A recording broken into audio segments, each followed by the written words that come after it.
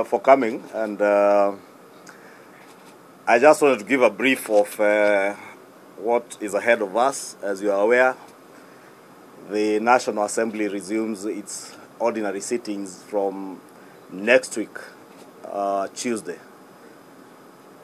on Valentine's Day. Is it? And um, we have quite a lot ahead of us.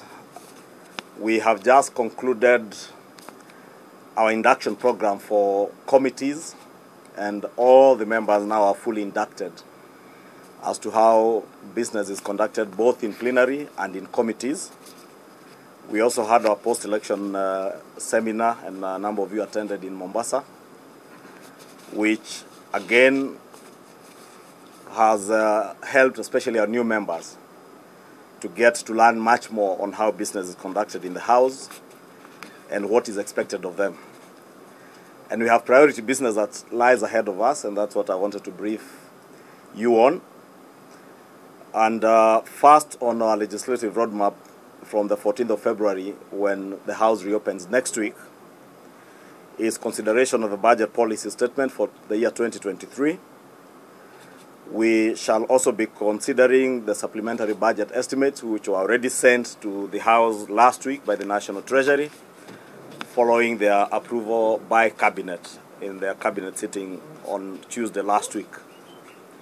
Committees are already working on the supplementary estimates, and we expect that within a week or two they should have finalized and be ready to table their reports before the Budget and Appropriations Committee, which we also expect they will soon after table their report in the House for its consideration and approval thereof.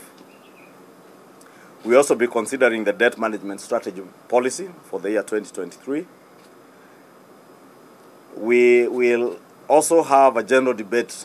You remember sometime last year, His Excellency the President sent a memorandum to the Speaker on certain ideas or thoughts that he shared with the House on the establishment of the office of uh, leader of official opposition, the question of two-third gender parity, the entrenchment of NGCDF and GAF funds and the Senator's uh, Oversight Fund.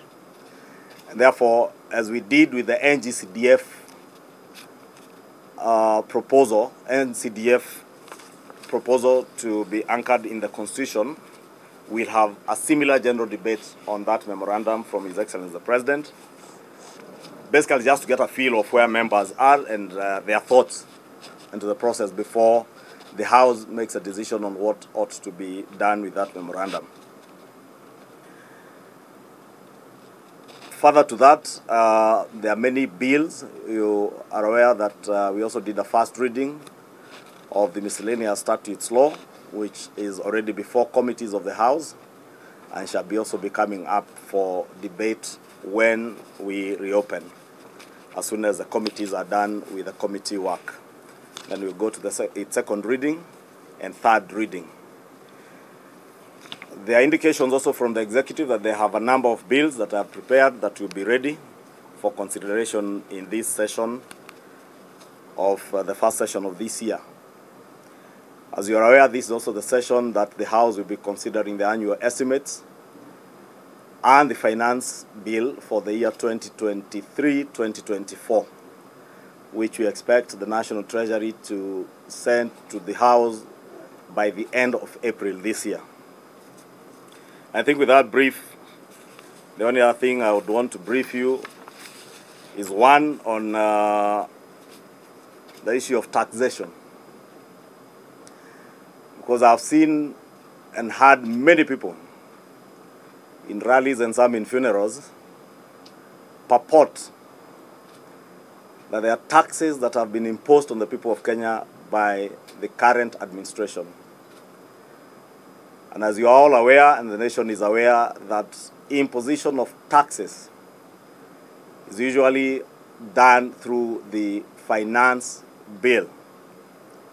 And Kenyans are aware that the current administration and indeed the 13th parliament has not had an opportunity to consider any amendment to the finance bill of 2022 that was done by the former regime.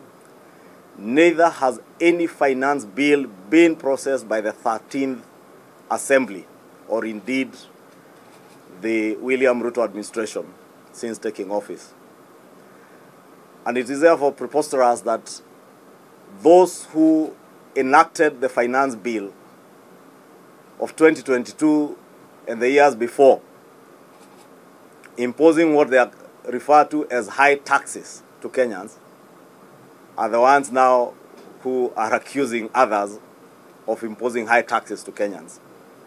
Therefore, I want to confirm to you and to the country that there has been no tax, any tax related bill processed neither by this administration, the William Ruto administration, nor the 13th Parliament, which took office late last year. Therefore, those accusing the current government and indeed Parliament of having imposed unfair and high taxes, I think they should relook at what they did when they were in office last year during the handshake regime.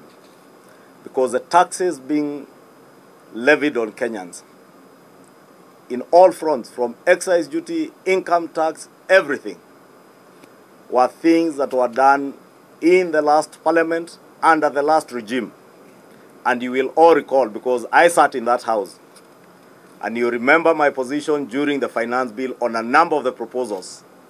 And you remember the bravado and the chest thumping that accompanied the passage of the finance bill last year. Therefore, those who are accusing us of imposing high taxes should relook into their thinking and be honest to Kenyans that it is them that imposed these taxes that they are talking about. Two, in line with the provisions of Article 210, I have a copy of my constitution here. If you allow me to read to you Article 210 of the Constitution, it says that on imposition of tax, that no tax or licensing fee may be imposed, waived, or varied except as provided by legislation. Two says that if legislation permits the waiver of any tax or licensing fee, a public record of each waiver, underline each waiver, shall be maintained together with the reason for the waiver. And each waiver and the reason for it shall be reported to the Auditor General. Three says that no law may exclude or authorize the exclusion of a state officer from payment of tax by reason of A, the office held by that state officer, or B, the nature of the work of the state officer. And pursuant to the provisions of that article of our constitution, Kenyans again are aware there are those who used their offices as public officers in this country to grant themselves and their families and their cronies tax waivers. I have today written to the Cabinet Secretary, Professor Njuguna Ndung'u, requesting for information on all tax reliefs, exemptions, and waivers that were granted from January 2018 to date.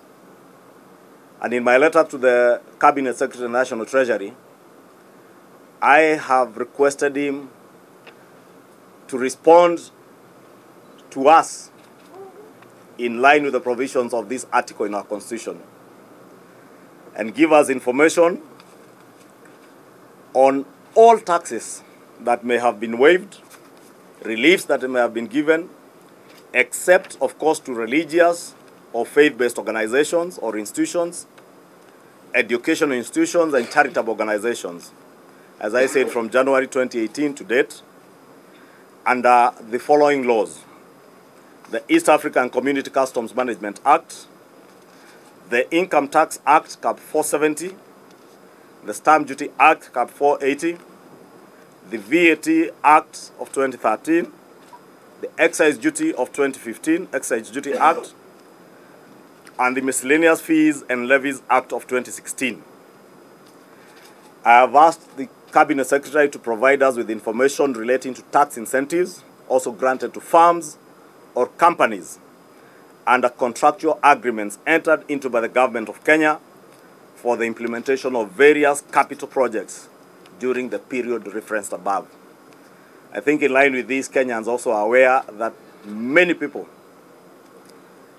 who are implementing capital projects, construction of roads and other capital projects, applied for tax incentives, some that have been variedly abused by the contractors, especially foreign contractors, in collusion with certain government officers.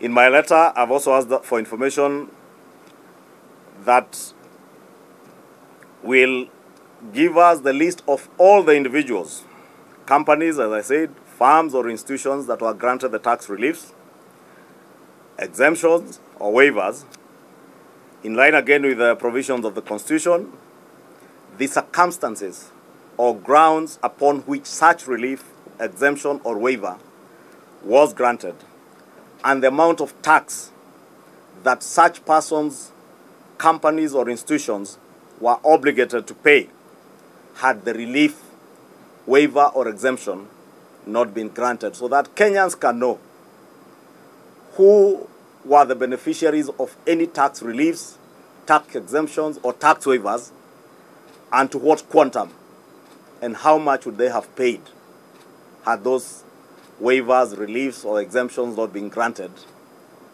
over that period that I have mentioned. Therefore, we have given the Cabinet Secretary a period of 14 days to furnish my office for further processing before the National Assembly. Because as you are aware, the National Assembly is a house that carries the power of the purse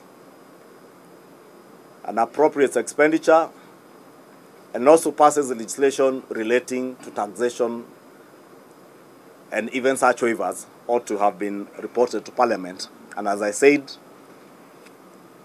there also ought to be a record that is kept and furnished to the Auditor General. A casual look at what has been given to Parliament from the Auditor General's office indicates that it is not all waivers, exemptions, and reliefs that were granted over this period were communicated to the Office of the Auditor General. And in line with our oversight role as the National Assembly and as Parliament, that is why we are seeking this information from the Cabinet Secretary and National Treasury. So that, as has been said, everybody in this country is obligated to pay taxes.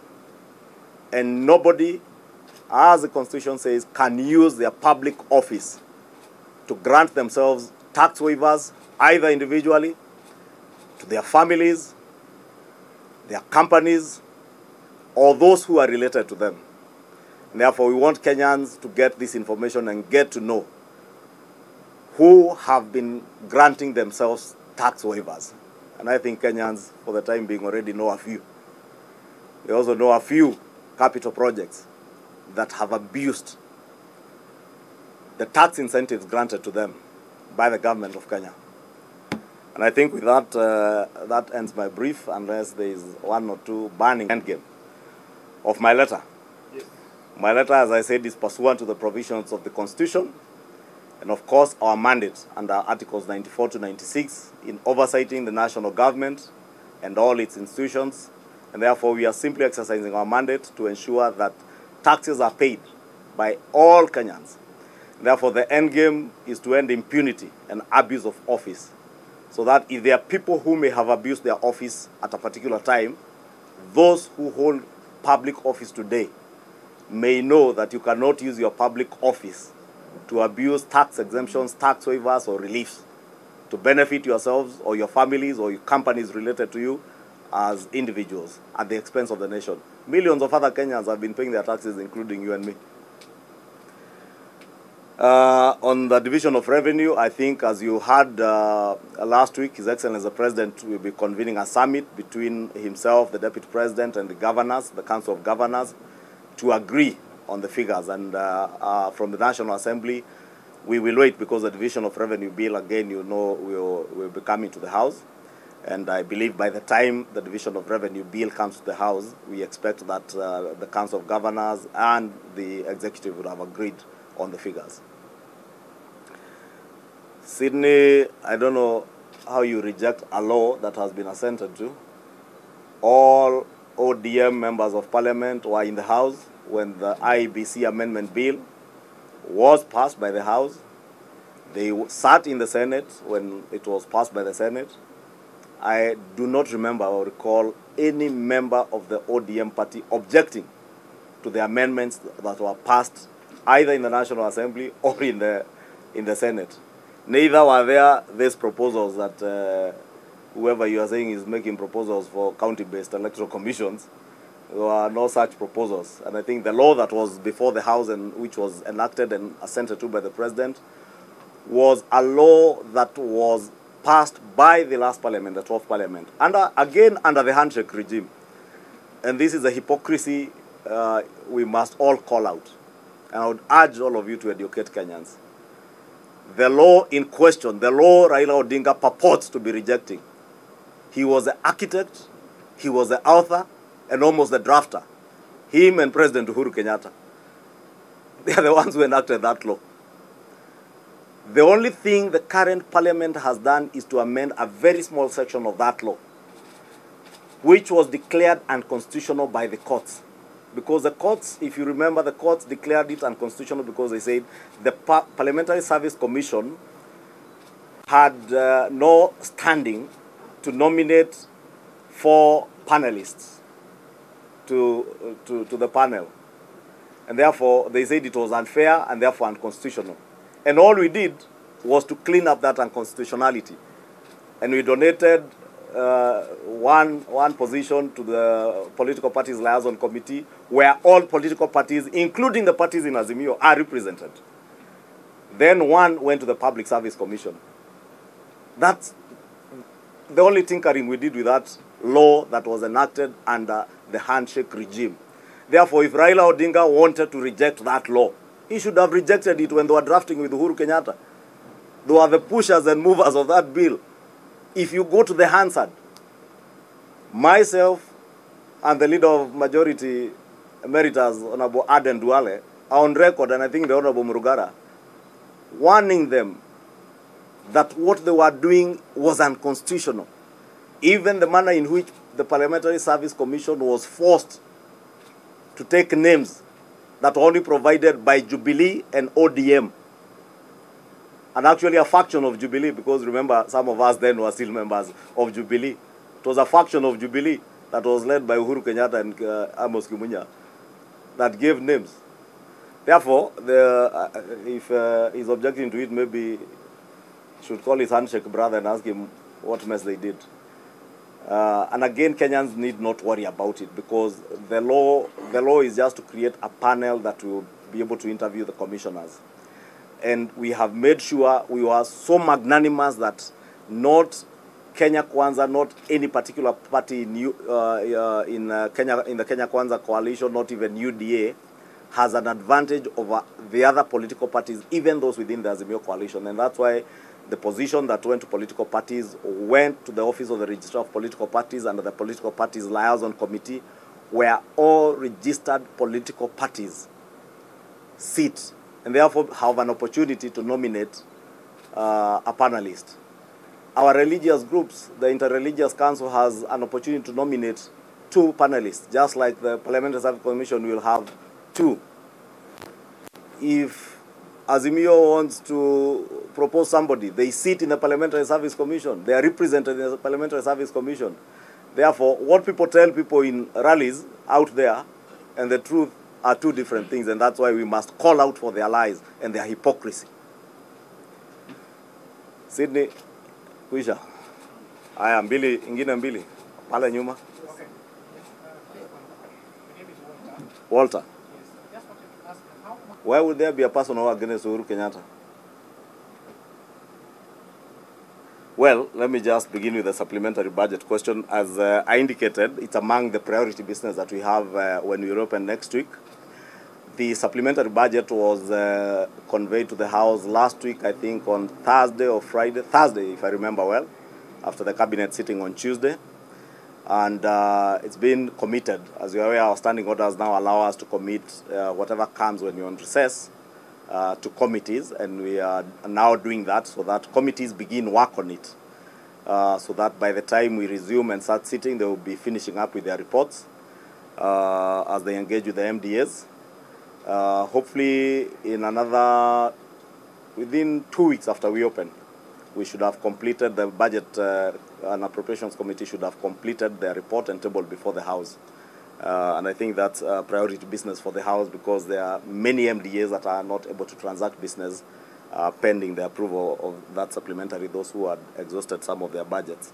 And there are also realignments, uh, as I said, and I think some of you had misreported on the borrowing that this government has borrowed in the last few months, which, uh, and I think uh, you also pretended to be correcting belatedly.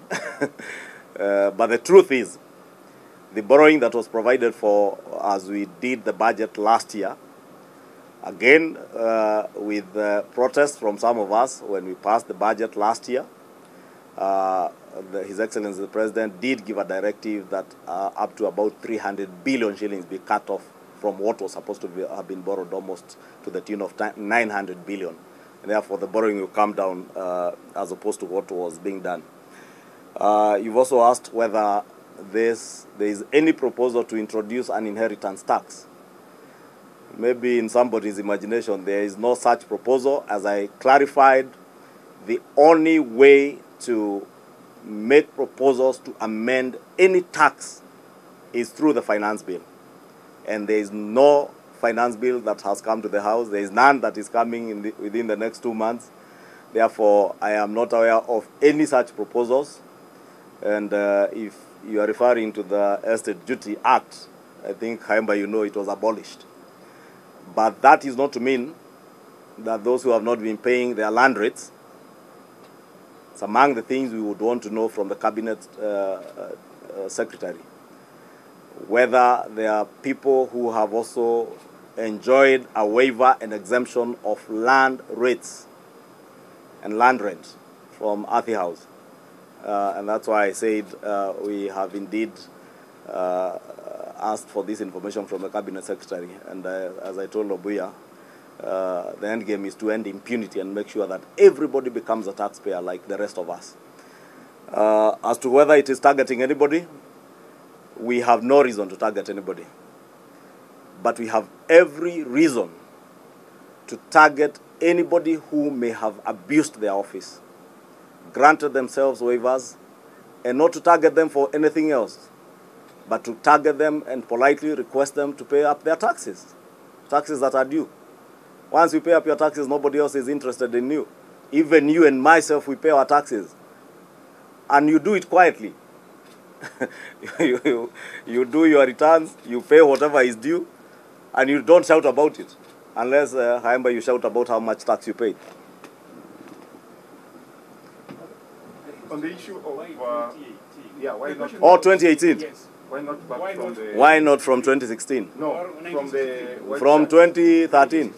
In fact, you could start from 1963. Yes. Uh, but you remember, this, when was this constitution enacted? The government exists in perpetuity. When was this constitution uh, 2010? So, it's Therefore, therefore, if if uh, you speak to your lawyers, they will tell you there are certain things that, uh, that after the enactment of this constitution, for instance, uh, and I'll give you the example of that law if it existed, uh, and, and after the passage of this constitution, things would have changed after the enactment of the constitution. Two, uh, we have a record already of tax waivers that had been sent between 2012 and I think 2017. And that is why we're asking for the record from 2018 to date. And to date means both under the handshake regime and under the William Ruto regime. Therefore, let nobody mis- be mistaken that this is targeting anybody. Even if there is a waiver granted to anybody under this regime in the last few months that this government has been in office, we expect that information to be available to the House so that we establish that it has been done in line with the Constitution and the laws and Kenyans are not losing their taxes because we, we, we cannot have a country where some people are taxpayers, others are taxpayers who use their offices to avoid and evade paying taxes. Wisha? What's the? Mike? Mike, uh, I think I, as I told Walter, unfortunately I'm not the accounting officer of the National Assembly, uh, but it's about austerity. The austerity measures uh, uh, cover every sector, including parliament. And indeed, if we were to do things normally, and I don't speak for the accounting officer, this is just my own thinking, there has been a saving in terms of uh, if we were to do things the way they are ordinarily done. Because ordinarily there have been an induction program uh, done for members of parliament wherever with cost attached to it. Members would come back probably sit for a while, then do the post-election seminar. If they go, for instance, to where they were, they would still take new flights, but now you are using one ticket. Therefore, there has been an element of saving, uh, and uh, as I said, the austerity measures cover everybody. That is why you see very many members of parliament around. Did you notice Mombasa was full throughout? Ya mwisho. Yeah, my name is Odhiambo Moses of the Star. I'm not getting your question.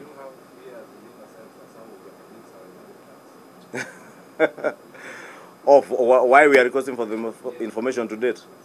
Now, uh, Bwana Odhiambo, had we asked for this information between 2017 and 2022, you would have said you are targeting people. now we are saying we are only exercising our mandate in line with the Constitution. Therefore, we should not be time bound to a specific time. It is a time we don't have information that we are requesting that information. Not out of fear that either uh, in the previous regime or this one there has been tax evasion. Uh, uh, but you and me know, you live in this country, Odhiambo.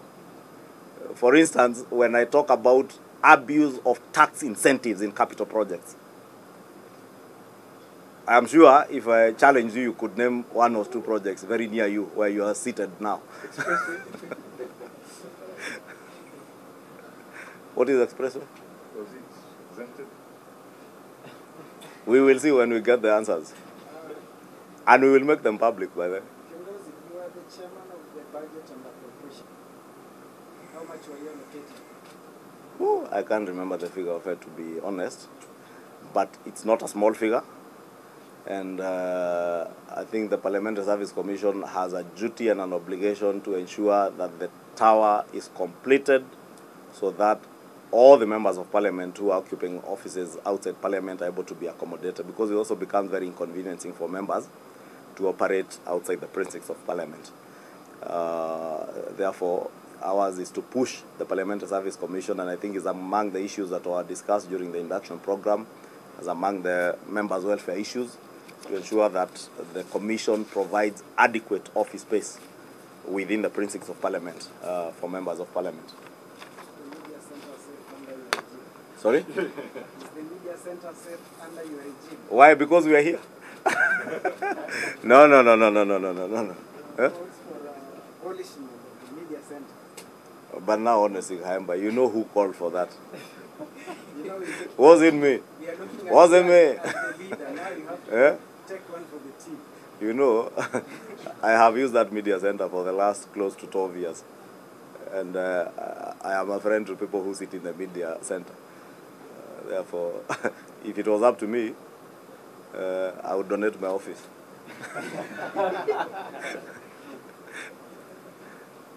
but I think it's safe. I don't think. Why would anyone bother with you? Kila mtu afanye kazi yake. Eh?